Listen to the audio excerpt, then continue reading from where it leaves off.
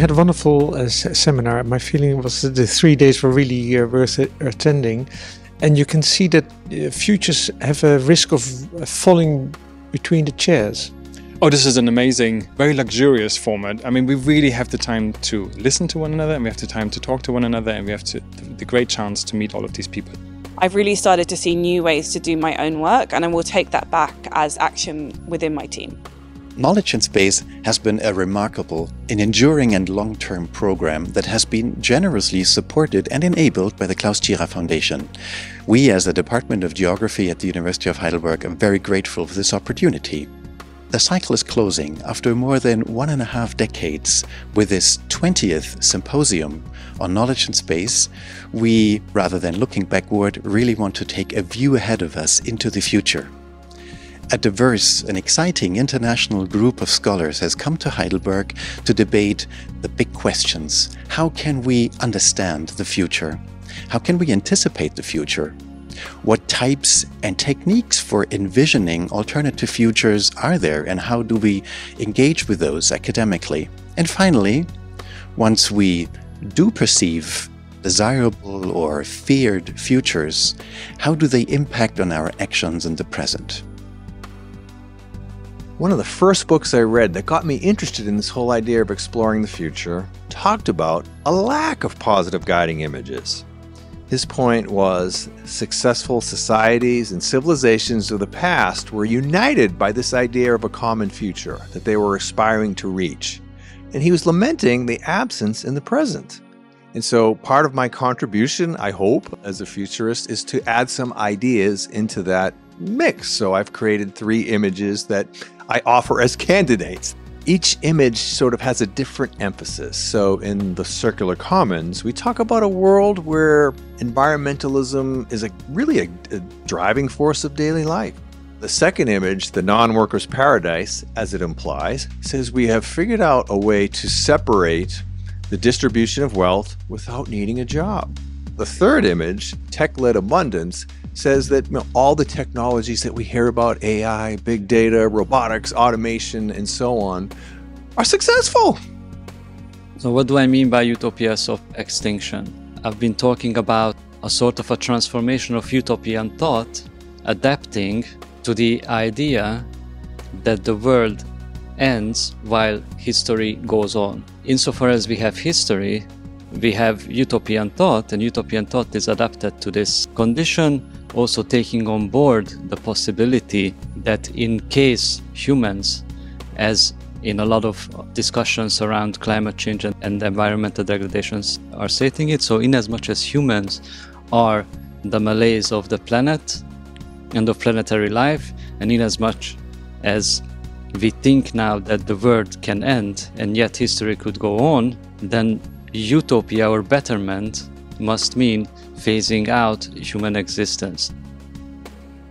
What I try to do in my work is draw attention to the fact that most of the social sciences have neglected the future. We're all forced currently, because of all the crises that we're living through, to deal with it, but we also have to conceptualize it. As an anthropologist, I do ethnographic empirical work in cities that are post industrial. That means that they were built for an era eh, which was determined by labor and the relations that come with that, and also the expectations that come with that. Everybody had a job and they knew they would go to the factory, they would go to the mines, and they would just continue with their work, and that was giving security.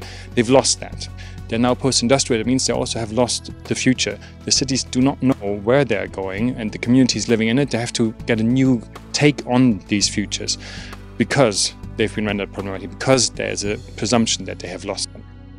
So-called community-supported agricultures, which might be an articulation of post-growth practices. It's fascinating to study, to understand, and to distill the novelty in those approaches. What kind of innovations, and by innovation I mean social innovations as much as technological innovations, of how to organize agriculture, for example, emerge from those activities, and how can other sectors learn from those innovations. But scenarios are very different. They're much more presenting and developing a broad picture of the future to do with societal change, technological change, economic change, political change. And so when you're building scenarios for the future, you'll build a qualitative pen picture of the way the world might be different, say 10, 15 years from now. And then you can maybe test your decisions against these scenarios to see if a decision you're making, an investment or a, a priority, is robust against the different scenarios. I think there is a, a, tendency to try and convince the politicians, but also behind the politicians, the public, with scientific facts. I'm not saying that these are not important, they are crucial, but they don't have the power of persuasion that aspirational futures have.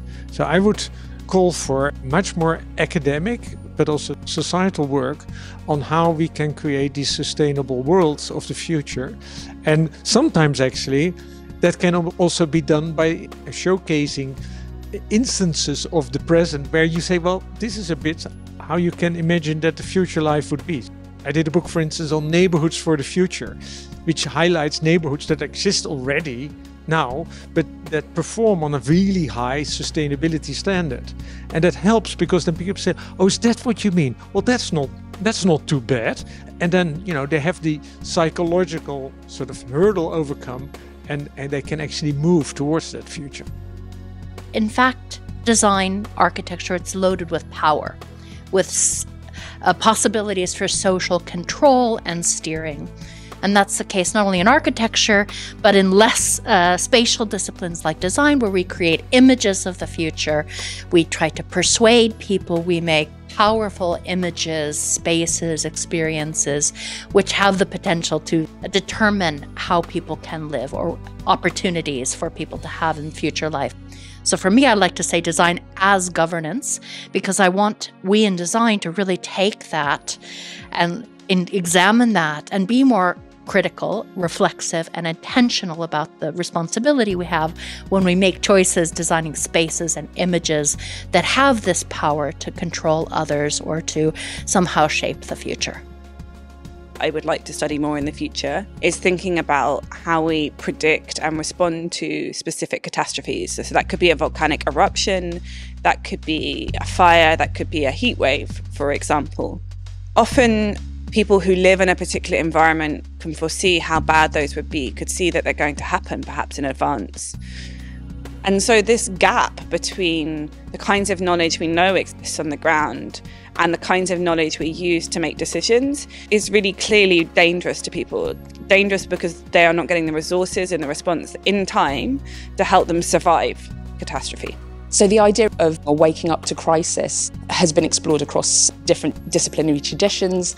And what I think they share is this moment of a realization of distance from an ideal um, reality which I think is quite interesting. So it's not necessarily a moment of simply enlightenment and, and arriving at a truth, but realizing of a distance from an ideal. I think waking up is also expresses something of an activation of agency. It's an effective awakening, so the capacity to sense, to feel bodily these crisis presence in the future.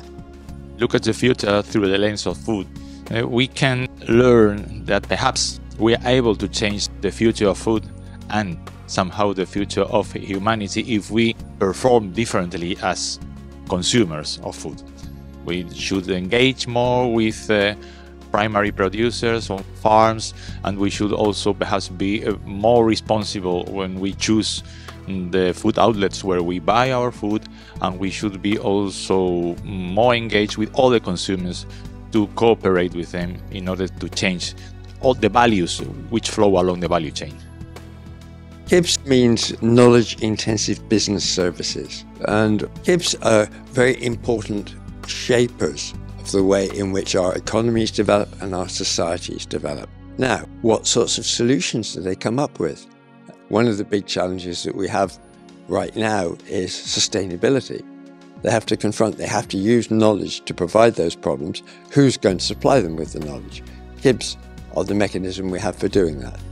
Can we outrun the disaster? I'm not so sure we can outrun it. What I think we're going to have to do is to adapt to it, put in place mitigations to avoid the worst, So I think we do need to change what we do now and into the future. So this symposium is a terrific forum, as I suspected, but it's even it's turned out better than I thought in terms of really um, helping me to strengthen my own thinking.